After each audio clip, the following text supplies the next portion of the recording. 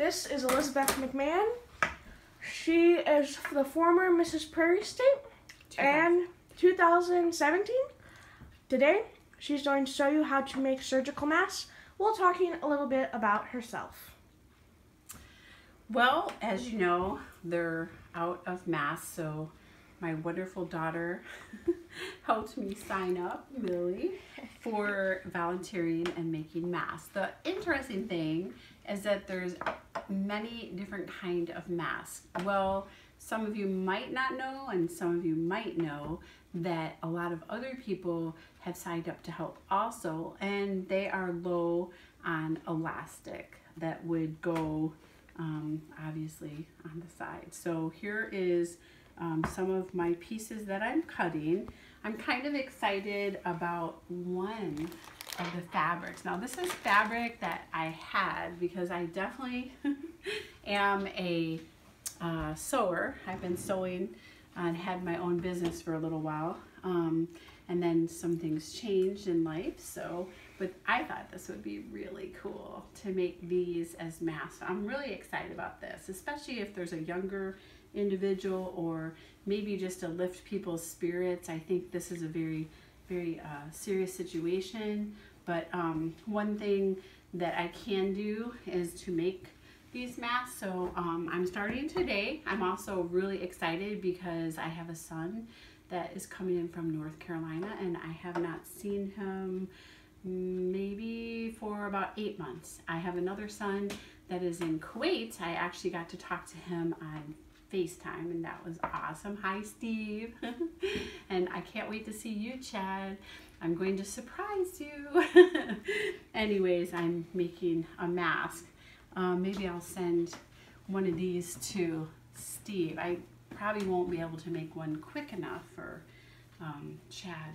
But um, I have Ehlers-Danlos and I've had it my whole life, but they've never called it that. When I was younger and at the doctor's, they told me I had a muscle musculoskeletal issue. So they said to go to the chiropractor. So basically, that's what I've done. I've gone to the chiropractor. I'm someone that's really, really active. Uh, I have dealt with my EDS by swimming and just keeping very fit with my muscles. Um, I have a black belt and I got that uh, a few years ago, so that was pretty good. Um, but most of mine has been activity. I have started to have some issues that are louder and have affected um, some different uh, bigger muscles and bigger joints. So that is a little struggle, but I have always had my hands and my legs, my legs tend to hyper uh, flex backwards. I've, I think when I was eight, I noticed a picture and thought, why are my legs going backwards? And my legs always hurt. So I've dealt with pain, a lot of pain most of my life, but I've noticed for myself that activity is helpful. It helps kick in my endorphins and helps me fight that. One way that I deal with the pain is rest. I just try to listen to my body and take a rest. And I used to feel really bad about that and still sometimes do, but I'm trying to accept that and know that that's just part of what I have to do to stay as healthy as I can. Uh, the beginning of uh, yesterday or the day before, I wanted to start the mass, but I was in a lot of pain. My hip was in really bad pain. Lately, I have been walking at night, um, just a couple times around the block. I notice for myself if I sit too much, it's a lot of pain. Like I just end up with pain. I've been having a lot of shoulder pain. Um, I'm not really sure why. My neck has felt kind of goofed up. But um, what I try to do a lot of times in most of my life is think about what I can do. Um, and this is exciting for me. I, I, this is my machine and I love this machine. I've had it for quite a while. Um, my husband got this for me as a gift. It's pretty durable and so I feel comfortable with that. I um, I'm hoping to make as many masks as I can. What I try to do is think a little bit about um, the long-term effects. So doing this um, the rewards of thinking that other people will be safe, and including my family and um, people at the uh, hospitals and that. Um, it's gonna far outweigh what the pain feels like. But if I do have pain, I do have um, wraps for my hands, and I also um, have other wraps. So one of the big jokes is people with EZ is how many um, how many wraps and elastic wraps that you have. That's a clue that you might have um, EDS. One thing with EDS is um, they don't really explain um, that when I was going to the chiropractor, there was other times where if I went to my regular doctor, they would say that maybe I had MS, and so I have symptoms of MS, but it's actually the hypermobility.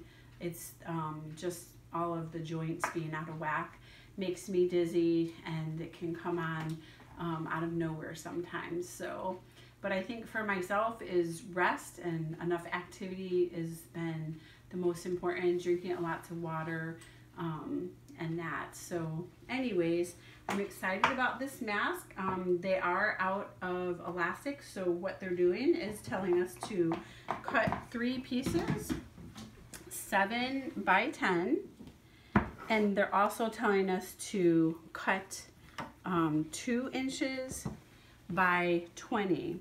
I have this elastic, and they also said you could use um, the biased, which folds like this. So um, I'm going to look in my wonderful sewing kit um, of goodies and see, I'm pretty sure I have that. So that is going to be, um, you're going to be ties. So once you have it, you're going to have two ties on each side and that's how that's going to work. So I'm going to, I just cut these out. Um, I actually went to the store to get an iron and I'm going to start sewing. So this is um, 7 by 10 and you'll mark one inch and three, um, make a three one inch marks on here. There will be folds and I'm going to talk a little bit more about the next steps in a little bit. I'm going to take a break now and not feel guilty about that and I hope that if you need to take a break that you don't feel guilty about that. If you have any kind of disability, I want you to know that you are special and that you are valuable and you are cared and loved and that you are going to have some days that are super good and then there's going to be other days that might not be that great. You might have a lot of pain. You might be working through pain. You might have a subluxation um, and might need to go to your physical therapist. I do have one that um, is really helpful. The last time I went, they had to um, crank on me. So I'm a little not looking forward to going there. Um, I stay away if I can, but a lot of it is keeping strong. And there's a lot more information and that that is on the Ehlers-Danlos Facebook. Um, they've helped me a lot to think about just other ways of doing things to protect my joints from getting weaker. So I'm going to take a break and I will be talking to you soon. Thank you. Well, it's Beth McMahon, and I just made my first medical mask. So here we go. How long did this take you? 45 minutes maybe? Okay.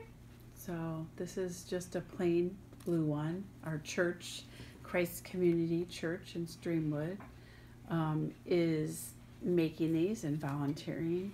I know a lot of other people have probably already done this, but as you know, a lot of our lives have been changed. So, one of the things that has changed in my life is my husband is working from home, and I have three young children that are home with me, and I am doing e learning, which is similar to homeschooling. So we have three different teachers and we have three different lessons and I have one Chromebook. So one of the preschoolers is on my phone doing schoolwork, and then there's somebody doing schoolwork on the Chromebook, and then someone else is either reading or we're doing math work and my husband is working from home and we have someone else working from home too. Thank you.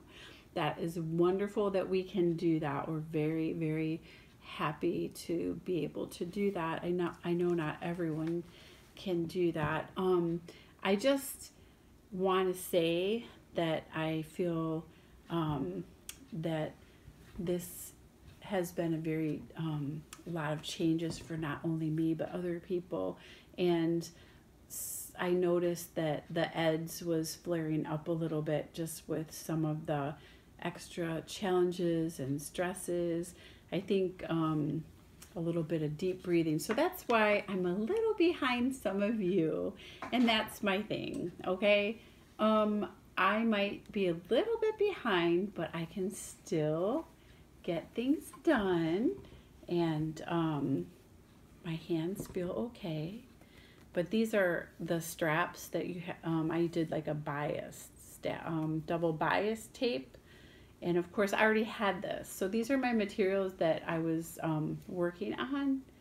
So how about you? Some what are some of the changes that you've been going through? Maybe you're not working. Um, maybe of course, a lot of us are staying home. I'm, you know, home. I don't go out that much except for the grocery store. I want to, um, I wore gloves today for the first time, and that was a little different.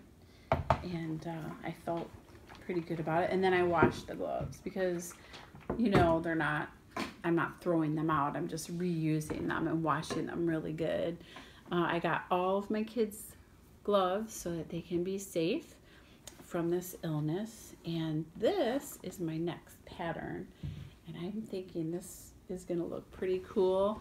I hope that this um, brightens some sick people's days and gives a little energy and super duper uh, hero power to our wonderful nurses. And I hope they feel like the heroes that they are to the people that they're treating and the doctors. So we just thank you that there are people that can help, and I hope this helps kick this virus far, far, far off the face of the earth. so um, I'm going to work on this one, and I will see you later. Thank you so much for watching.